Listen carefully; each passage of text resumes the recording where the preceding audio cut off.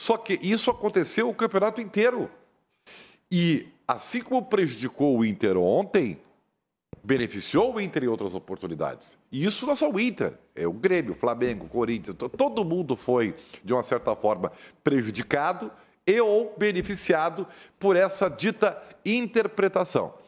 É, é, quem acompanha a gente aqui sabe né, que eu falo há muito tempo que há, um, há uma falta de padrão. E mesmo que a palavra interpretação seja é, não, não cola muito com o padrão, né? Porque é uma interpretação, cada um tem a sua. Tu não pode ter, é, nós estamos falando de futebol, para lances iguais, decisões diferentes. Então eu não posso assim, ficar dependendo do, de como é o juiz, de como é o cara do VAR, para lances iguais terem decisões diferentes. E isso que aconteceu ontem a resposta para essa pergunta aí, sim, o Inter foi prejudicado. Por que, Ribeiro? Porque, na minha opinião, o VAR, aí, aí é uma leitura. Sua. O, é, e da grande massa. É, o VAR ontem, quando chama o, o, o Rafael Klaus, o VAR está olhando no vídeo. Eu já falei para vocês quanto tempo aqui que imagem engana sobre a intensidade. É a minha percepção também. Tá? Mas isso já fala há muito tempo. Então, se tu olhar agora como nós mostramos no, no, na câmera lenta, tu vai expulsar o cara. Porque assim, Ribeiro, até o que tá? eu estava falando contigo na redação ah. e levando a minha opinião aqui para casa. Aí é, isso é. Essa isso... daí o torcedor colorado não não justificou. Não, mas é que tu, Daí tu lembra mas... o lance do Cortez, os torcedores colorados querendo a expulsão do Cortez? É, mas acontece o seguinte, cara. É, é como eu te falei, torcedor o torcedor é torcedor.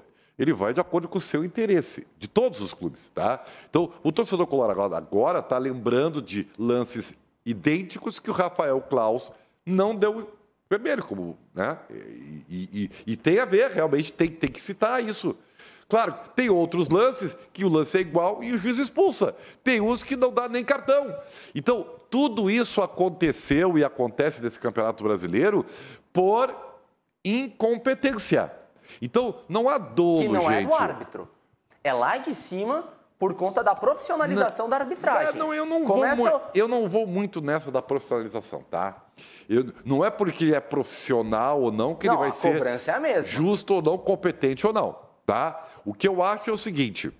Mas assim, ó, só para salientar também, Cada lance desses era um árbitro de vídeo diferente. O Rafael Klaus, com o feeling do jogo, daria o cartão amarelo, seguiria assim, se duvidar. Ele poderia ter ido ao dava. VAR, como foi, e ter dado amarelo. Só que o VAR, o que, que é? É uma imagem com slow motion, a imagem parada, que pega a angulação do chute no, no, no tornozelo. No slow motion, mostra a intensidade é. ou não. Não mostra. Não mostra. Mostra, mas é que a, a câmera lenta, é, você pode ver a câmera lenta, não é só nesse tipo de lance, é qualquer tipo de lance. Na bola? A câmera mão. lenta, ela te dá uma percepção, porque a, a imagem não traduz literal.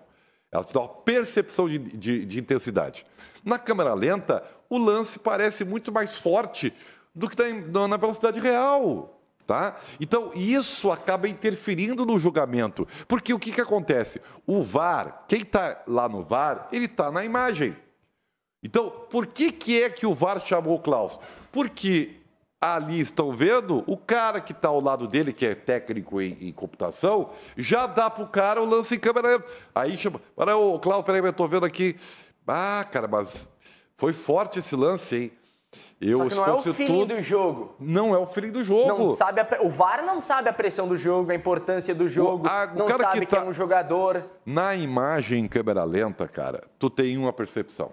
Na imagem, na velocidade normal, na imagem, tu tem uma. E quem tá lá no campo tem outra. Mas assim, na imagem, pausada, slow motion, o que aconteceu ontem, você cria um precedente para dar expulsão. Claro a imagem em câmera lenta te dá uma possibilidade de expulsar. Esse Só que lance essa, poderia ter rompido é, os ligamentos do a tornozelo. A câmera lenta não é real. A câmera lenta não é a verdade. Entende? A verdade é, é a velocidade normal. Por quê? Porque intensidade, cara, tu vê a olho nu. Eu já dei um exemplo. Lembra você? Eu dei um exemplo aqui. Como é que você sabe que um chute foi. Tô vendo, tu está vendo pela televisão, tá? Como é que você sabe que um chute foi forte ou não? Pela reação do goleiro? Não, pela reação do pós-lance. Tipo assim, o cara bateu e a bola pega na trave e sobe muito. Foi forte. um chute forte. Por quê? Porque a subida da bola depois é que te dá essa percepção. É? O cara chutou e, e o cara caiu na barreira.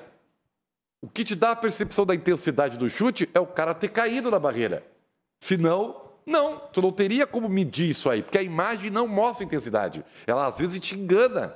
Como é a câmera lenta? A câmera lenta te dá uma, uma, uma, percepção distorcida da realidade. Por isso que existe um jogo antes e depois do VAR. Então, infelizmente. Então, assim, o que eu acho é o seguinte: é, o Inter foi prejudicado? A pergunta é objetiva. A resposta também é sim. Sim. Ah, o Inter foi roubado? Não, não foi roubado. Entendeu? Não foi roubado. Por quê? Porque, por que que... É, é, é, que isso aí é muito de torcedor, entendeu? De... Mas o Ribeiro é verdadeiro, o Ribeiro é racional. youtubers da vida. Deixa eu só perguntar Cara, eu não uma vou... Coisa. Assim, ó, gente, o Inter, é, isso talvez não mude o que eu estou dizendo. Porque o ser prejudicado e o ser roubado, talvez para o torcedor do Inter seja a mesma coisa, né? Por quê? Porque esse lance pode ter definido o campeonato. Pode.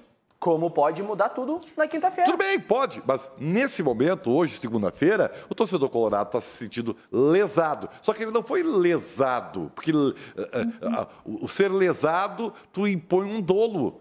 Que ele foi roubado. Ele não foi roubado. O que houve foi um erro da arbitragem.